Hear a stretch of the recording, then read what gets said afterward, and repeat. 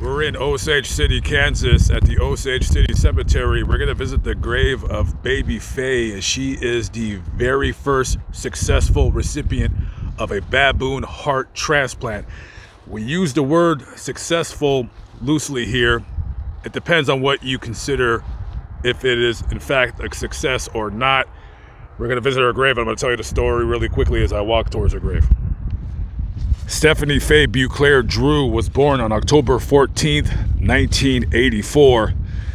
During a routine ultrasound being done by the doctor, he notices that the baby's heart on the left side is not fully formed as it should be. This condition is called hypoplastic left heart syndrome. Now, I believe in all cases of congenital heart defects.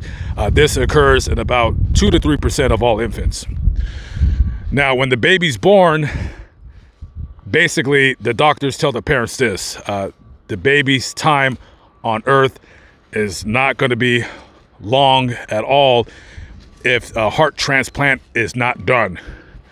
Now, here's a problem with doing a heart transplant on a baby. Number one, you need a heart. And how many babies out there are born totally healthy and fine and then they all of a sudden die and you're able to get the baby to a hospital in time while the organs are still uh, good to use getting it into the recipient. That doesn't happen very often. Most babies born uh, are healthy and fine. So you're gonna always have a case like that where there's just not gonna be much of if any of us apply. So the doctor tells the parents that the baby might have maybe a month to live, if that, unless a transplant is done.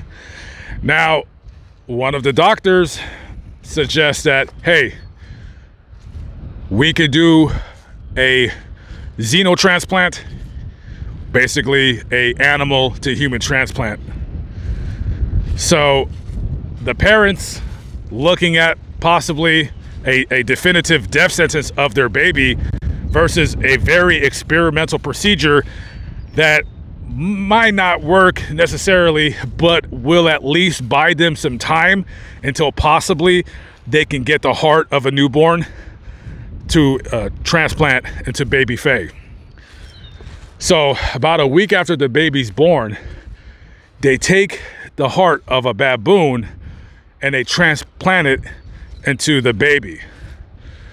Now, the problem with calling this a successful uh, surgery or a successful xenotransplant is that the baby only lived another 20 some odd days. Uh, the baby was only a month old when she died. Now, the doctors that were doing this uh, experimental surgery they knew that she wasn't going to live very long. The number one reason was because the blood types. Baby Fae was a type O, and the baboon heart was AB. Only 1% of all baboons have this, you know, O type blood. And they only had seven baboons on hand, and they were all AB type. And I don't know if they had anti-rejection drugs back then that they could give to the baby to ward off the body basically rejecting a what it considers a foreign substance within the body to buy this some time to do the uh, transplant. Now, sadly, the baby would go on to die on November 15th, 1984. Uh, since then, however, uh, there's been successful heart transplants, not with newborns, but with just people. Uh, you have Geraldine Keck, who is still going strong today at 91 years of age. She received a heart transplant 30 years ago, and she's doing just fine. Uh, and you also have Larry Plough, who suffered a major heart attack back in 1985 when he was 41 years of age. They give him a heart transplant, and as of 2021, at the age of 77, uh, he is still alive. and he's doing just fine. So the technology of uh, medical, when it comes to, anyways, heart transplants, liver transplants, and all that, we're fine with that. The heart transplant has advanced very, very rapidly in the last uh, 30 to 40 years. And uh, this is the grave right here of, she's known as Baby Fae, Stephanie Fae Beauclair Drew. As you can see, the birth and the death dates.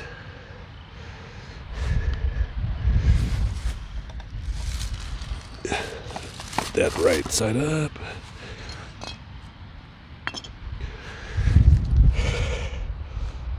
And uh, this looks like this possibly is uh, maybe the father or relative.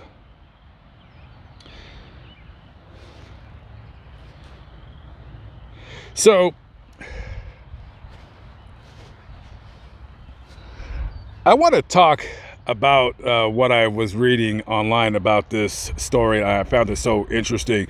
Is uh, the amount of people that basically have said uh, how unethical this was to to do such a risky, drastic surgery that's that almost can say has come out of the books of old horror movies like Frankenstein or something like that. I find it utterly ridiculous that people would say such nonsense because, well, you gotta call it the way it is this wasn't your baby. You weren't you didn't birth a baby that was given an automatic death sentence. Of course, as a parent, you're going to do everything and anything that you can to save your baby's life. Even if it means doing something so drastic such as this just uh, uh to buy some time with your baby. And let me say this, I don't know in the future nowadays what they do in situations like this. But, you know, modern medicine is advancing so rapidly that hopefully in the next 50 to 100 years, something like this would have been, you know, a thing of the past, a baby dying, a baby being born with a defective heart. And it is rare, but it does happen. So it's quite easy to say, oh, that's wrong what they did. Again, it's ain't your baby and it's not happening to you. So it's easy when you're sitting on your couch or you're in your study uh, blowing on your pipe to talk down on others when instead you need to put yourself in the position of others. Rest in peace to Baby Fae.